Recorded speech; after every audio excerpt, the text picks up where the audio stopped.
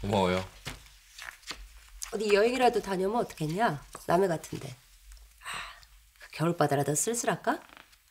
그 여수에서 한 시간 배 타고 들어가면 정말로 이쁜 섬들 많던데. 안 아픈 척 폼 좀 잡지 말래. 보고 있기도 속상하니까. 그럼 울어요? 입양도 하던데 그 여자 대단하다. 그게 널 사랑하는 여자냐? 미안한 말이지만 그 여자 정신적으로 미수가 아니니? 다른 사람 아픔 같은 거 안중에 없고 이해 용서 같은 거 절대 안 키우고 저밖에 모르는 미수가 되게 거북해요. 아직도 사랑한다고?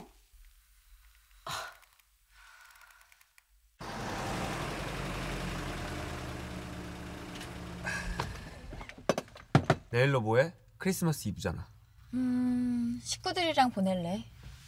나 아무 스케줄 없는데 나랑 보낼래? 장현우가 스케줄이 없는 크리스마스가 있어? 너 쫓아다니는 애들 다 뭐해? 나도 모처럼 고요하고 거룩하게 보내보려 그랬지. 나도 식구들이랑 고요하고 거룩하게 보낼래. 마음 달라지면 전화해. 그럴 일 없어. 어? 이모! 예. 지난번에 내가 본 그 청년 맞지?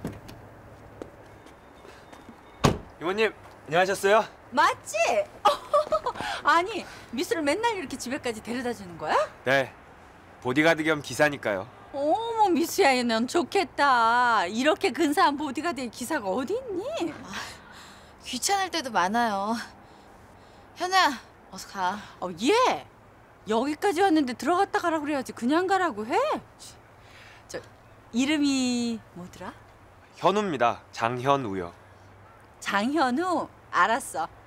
미스터 장 들어갔다 가요. 오늘은 가서 차 한잔 가. 어서 자, 아이, 어서. 저, 야, 이모, 현우 우리 집에 한 번도 안 들어봤어요. 그냥 가라 그래요. 어머 얘, 넌 너무했다. 아니 그럼 맨날 이렇게 문 밖에서 돌려보냈단 말이야? 치, 넌 나쁜 친구야. 어떻게 그럴 수가 있니? 자, 오늘은 들어갔다가 응? 어서 자. 아, 야, 이모. 민수야 할 수 없다. 이모님이 이렇게 권하시는데 잠깐 들어갔다 가야지. 야, 너 그냥 가? 아니야 들어갔다가 자 가자. 아, 저기. 들어갔다가. 야, 이모! 이모!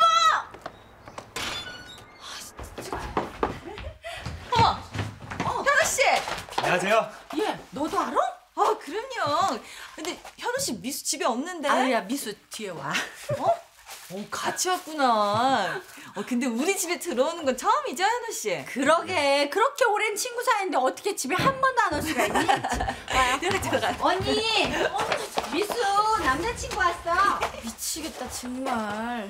뭐 언니, 어, 웃기잖아. 지금 남자친구 현우. 안녕하세요, 어머니. 변주. 아, 나이는 어떻게 되고? 스물일곱입니다. 우리 미수보다 한 살 위네? 네. 오, 그럼 개띠구만. 그럼 아버님은 무슨 일을 하시는 분이시고? 저, 저, 할머니. 야, 사위감 선보는 것 같다. 그냥 친구래요.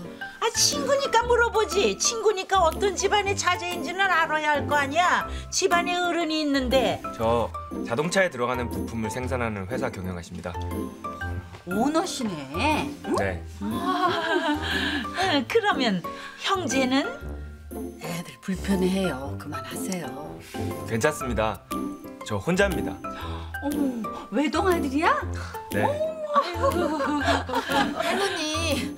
그만하세요. 우리 그냥 친구예요. 친구니까 물어보지. 다른 사람한테 왜 물어봐?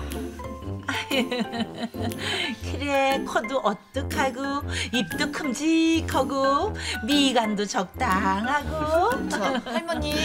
인중도 좋고. 엄마 관상도 봐. 어디 고개 좀 돌려봐라 키 좀 보자. 아, 그래? 꼴통. 아우, 진짜. 안녕히 오세요. 안녕히 오세요. 안녕히는 가는 사람한테 하는 말이고 오는 사람한테는 어서 오세요 하는 거야. 어서 오세요. 그래. 다녔습니다. 응. 낮에 이모랑 아가씨랑 김밥 맛있게 먹었다면서? 네. 또 먹고 싶어요. 예, 준이한테 잘해줘서 고마워.